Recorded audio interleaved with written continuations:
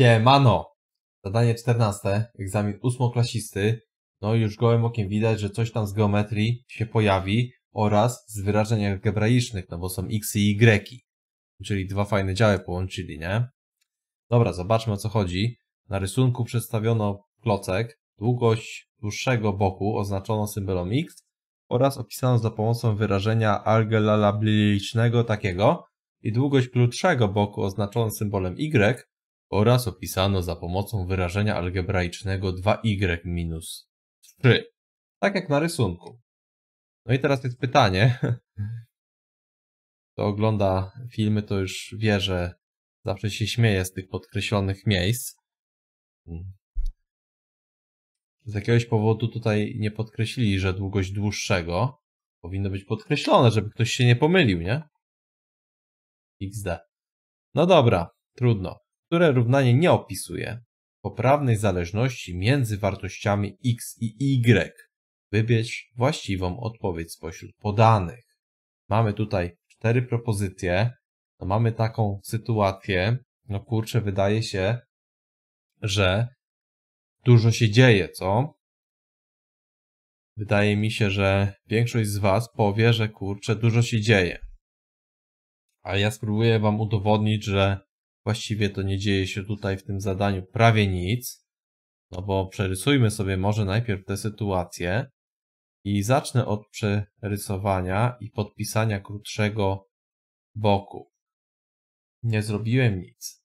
I teraz to, co powiem, no to, że te boki są takie same. No a skoro są takie same, no to ja mogę powiedzieć, że są sobie równe. A jeżeli coś jest sobie równe, pamiętajcie, że zawsze zapisujecie to jako równanie i teraz takie równanie po prostu sobie rozwiążemy. No i okazuje się, że y równa się 3. Udało się rozwiązać takie równanie i znaleźć odpowiadający y naszej sytuacji. No i teraz spróbujemy znaleźć xa. spróbujemy znaleźć xa tak są opisane te boki.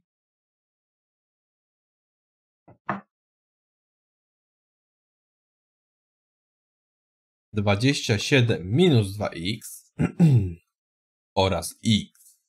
No i te sytuacje również mają być sobie równe.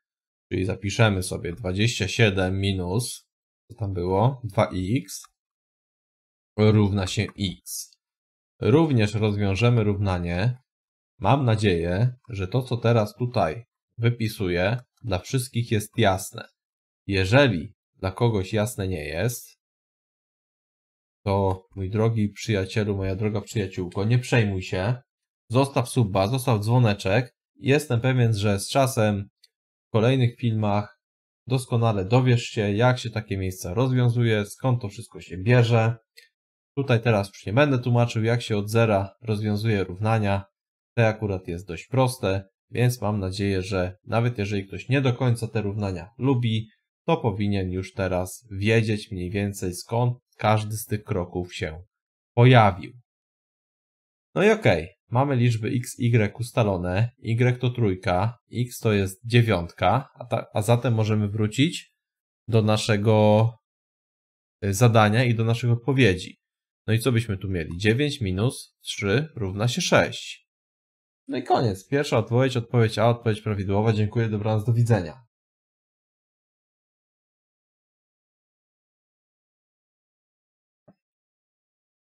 Mam nadzieję, że wszyscy się oburzyli,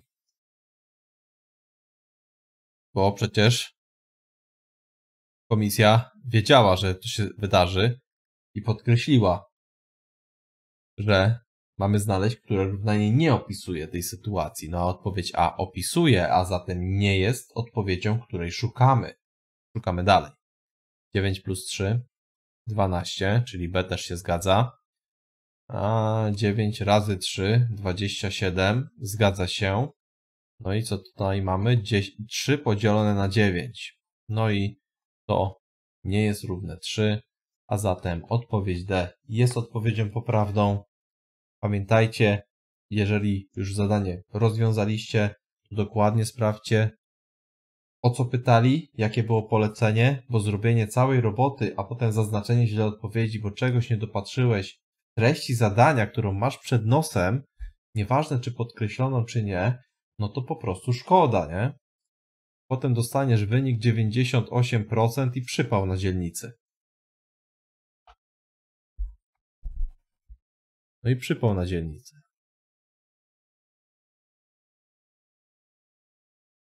Ok.